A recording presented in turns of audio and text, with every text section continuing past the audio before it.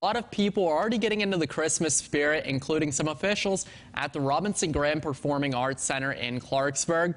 Earlier today, the theater announced that it has its movie lineup for the Christmas season. The Polar Express will be shown on December 9th, while the local movie Feast of the Seven Fishes, which focuses on the Italian heritage of north central West Virginia, will be shown on December 22nd. The classic movie White Christmas will be shown on December 23rd. Tickets will start to go on sale this Friday and start at $7.